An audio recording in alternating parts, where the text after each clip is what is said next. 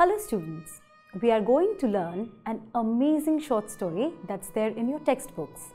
The Letter, written by popular Gujarati writer Gauri Shankar Govardhan Das Joshi, better known by his pen name Dhumketu. Before we begin, we shall learn a few lines about the author who finds a place in your books by the name Dhumketu. I know the name sounds odd, but that's probably because it's not his real name. It is what we call a nom de plume or a pen name, a made up name or pseudonym that a writer assumes to hide his real identity as well as to invent a different persona.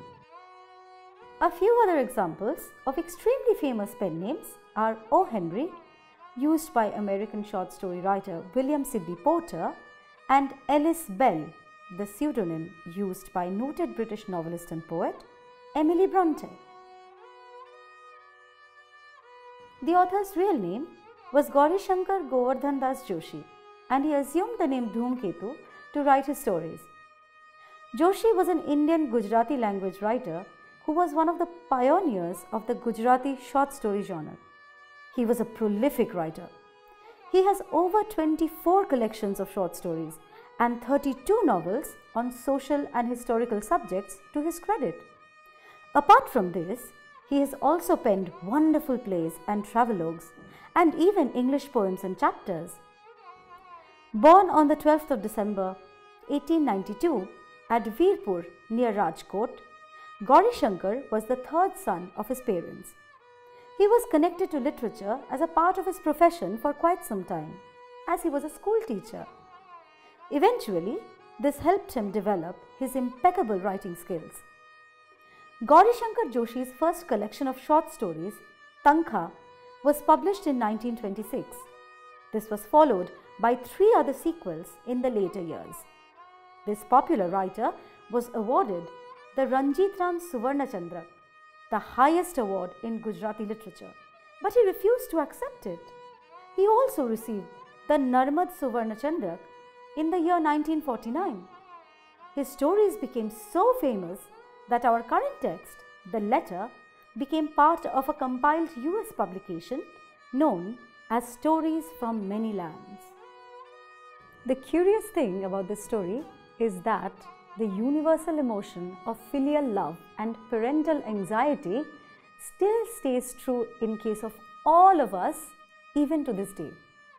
As teenagers, I'm sure you frequently get irritated and clash with your parents over their constant worrying over you or calling you about a dozen times a day.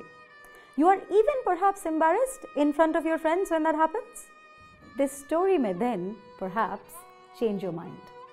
You will understand how you can empathize with human emotions only when you are feeling them yourself. Just like our postmaster, who couldn't appreciate Ali's feelings until his own child fell sick in another town. The protagonist of the story, Coachman Ali, was an old man who suffered miserably due to sickness, loneliness, and separation from his beloved daughter Miriam. Once upon a time, he used to be a ruthless hunter, and the post office clerks were of the opinion that all those curses had bestowed on him a dismal life. Miriam had gone off to Punjab after marrying a soldier, and he did not hear from her since the day she left. He eagerly awaited some news of her, some words from her telling him of her new life and well being, but in vain. Ali had religiously visited the post office every day for five long years in anticipation for a letter from his daughter. Notice how the writer skillfully converts the world's most uninteresting place, as he calls it, into a place of pilgrimage where Ali visits daily. It becomes a ritual for him that gives his life a lone purpose, and he lives in the hope of some news of his only child who lives far away from him.